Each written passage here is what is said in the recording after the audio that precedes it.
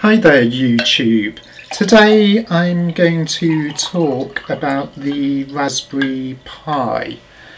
Now for those of you who've probably been hiding under a rock these past five years, um, a Raspberry Pi is a small, normally single board mini computer. Um, they're used with the Linux kernel which is loaded via a SD card. This is a Raspberry Pi Zero, um, so it's this format, it's not a micro SD. Um, I got one of these for about £10 from a junk shop. It was good to experiment with. I ended up hooking this up to my lounge TV Unfortunately, the processor and memory, uh, the RAM, that's random access memory, is woefully inadequate for multitasking on this. I loaded Chromium, that's their Chrome based browser, I believe. I could be wrong. so, um, but it crashed, it didn't work. I found other very low spec browsers on the repository, um, but none of them would play ball, unfortunately.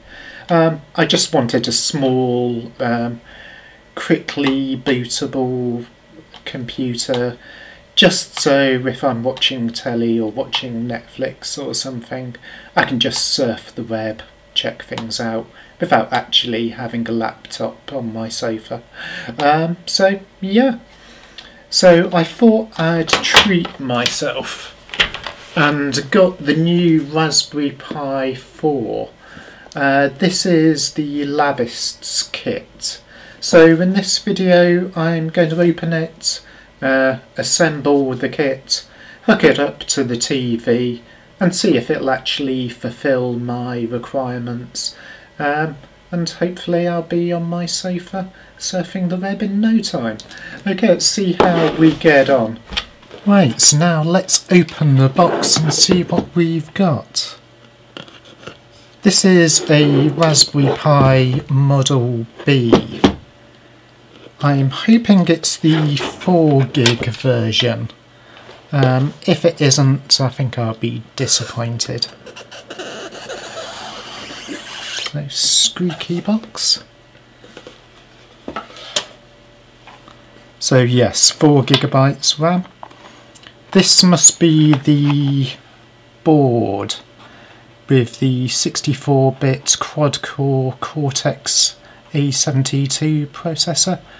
4 gigabytes RAM, 2 micro HDMI ports, which is good. I could run two screens if I wanted has two USB 3 ports, two USB 2 ports, Ethernet port, wireless Bluetooth,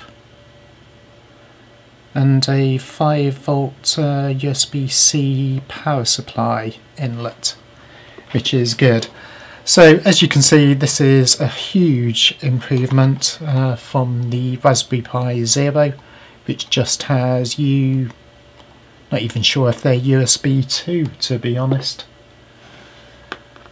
Um, so it has the micro SD port, um, Ethernet, but no Bluetooth, no Wi-Fi. So this is definitely a upgrade. What else do we have in the kit? Have quite a useful for picture frame perfectly uh, rectangular bit of foam. Get excited about these things. so as we can see, yes we've got a power supply here, that's good. Because I noticed with the Raspberry Pi Zero I got erratic performance if I didn't use a proper charger. I ended up having to root out uh, my charger that came with my iPad um, and that was beefy enough. Obviously plugging the USB-C, not lightning. So this is good. This has the micro HDMI So that's good. That's going to save me rooting around in my bit box. Looks like we have a case here, which is good. Not sure why they've got a... This looks like a uh, tripod attachment. So that should be good. What have we got here? Oh, that's a second micro HDMI cable for the dual monitor setup And now we start getting technical. So 32 megab megabytes SanDisk uh, micro SD card. I'm not sure if this comes preloaded with the uh, Raspbian kernel. Raspbian's uh, a flavour of Linux called a distro for distribution, I'm guessing. I could be wrong. Again, let me know if I am. Um, Linux has been around with us for a long time now. I think it was 1991. I used to play around with it a lot. Uh, I used to, when I didn't have much money, not that I've got much now, used to buy old laptops from car boot sales. And obviously they were too old to run Windows. Um, so I just used to put on a Linux distribution. Quite miss it really. These look like some sort of heat sinks. Maybe these are just to aid uh, cooling. Oh yes, we have a fan here. So this will probably plug into the motherboard and it will provide cooling. Which is good. That's quite cool actually, that's going to be pretty useful. Um, because not many cards actually have, not many laptops, sorry, uh, have card readers now. So if I plug in an SD into this one, that's gonna be really useful actually. Cool. And of course we've got a small Phillips or diamond electrical screwdriver. Again, that's going to come in very useful. And have we got any instructions? Yes, we do. Quick start guide. So holding this upside down really.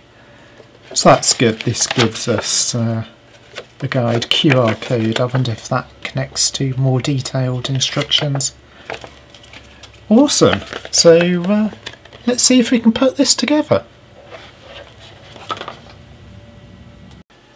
Okay, let's start constructing this. Um, I was disappointed that there weren't any printed instructions in the box. Um, there's brief instructions on the product detail. That's on uh, labists.com. Raspberry Pi 4 Model B, if you've got this. Right, rather stupidly think I might try and do this in one shoot. I think I might start sobbing though, it looks very fiddly. Right, so... Okay, I'm guessing the fan goes there. Okay, so let's put the fan there. I think it's going to be the pointy screws.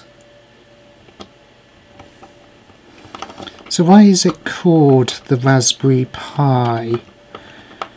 I always thought it was pi as in 3.14 recurring. Um, but apparently it's short for Python because obviously it was designed just for a educational tool for people to learn Python which is partly the reason why I wanted to experiment with Raspberry Pis. Why Raspberry? Um, well, the creator seems to think uh, that it's based on the era of early computing where everything was fruit related. So you have Apple computers, um, you also mentioned the acorn. I want to be pedantic, but is an acorn a fruit? Right, so we've got these copper heat sinks here. So this looks like it's for the processor. Because it goes round that way. It has uh, sticky backs, which I think is 3M tape. Let's just stick that on. Okay, so there's that. This one here looks like it's the right shape for the memory. So let's give that a go.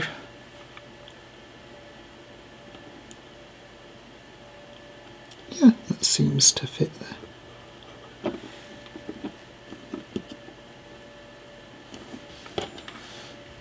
I remember doing this once to a PC I built. Uh, it was a tube of uh, very gooey silicon coolant. Got it absolutely everywhere. And is that right? I think that should go diagonally, but to be honest, too late now. Um, this is the Ethernet chip, so I want to keep this cool ideally. So let's connect these. These are the power cords, so black cord, three pins in. Red cord, I think if you want quiet mode, you put it on the second row. If you want turbo cooling, which I probably do, I'll put the red connector on the first pin. Which, okay, cool. Now let's see if it fits in the case.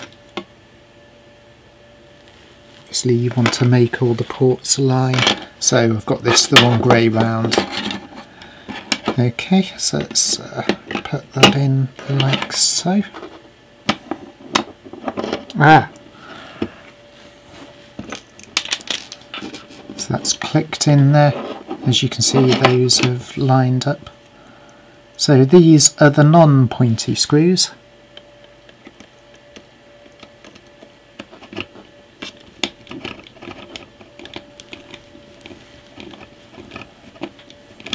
Uh, just secure the motherboard in place. It's had a moment of panic because I'm not sure what that chip is but there doesn't seem to be any uh, cooling for that one. Let's just put the rest of these in.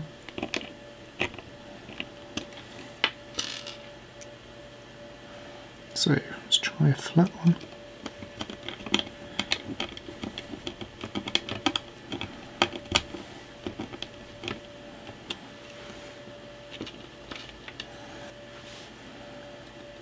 And this one here.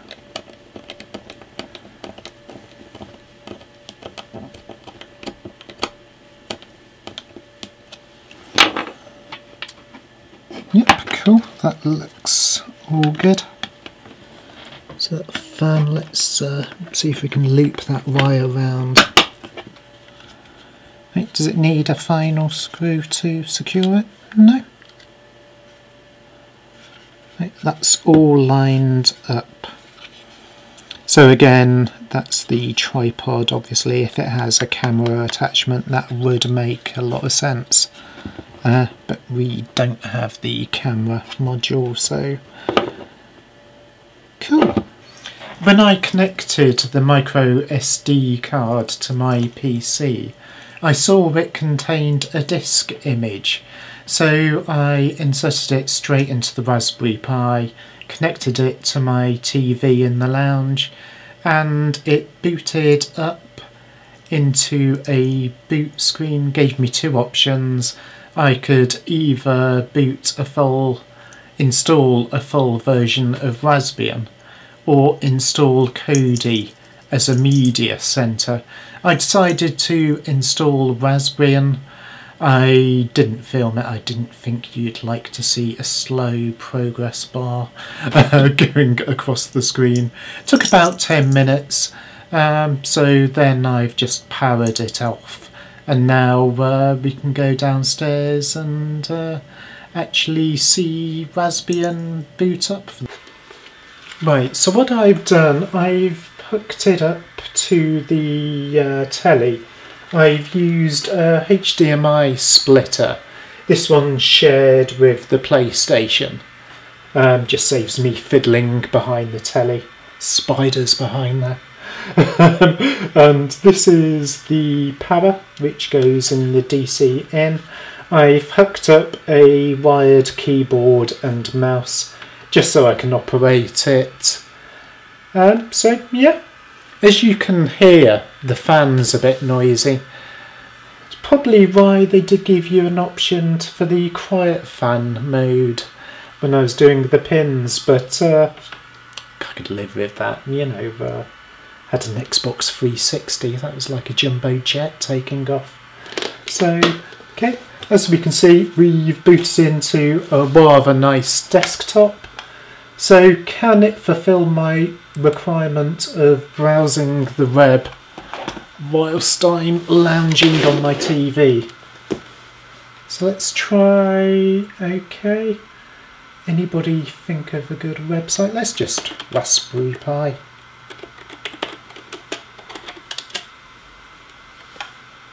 And as you can see, this is quite responsive actually.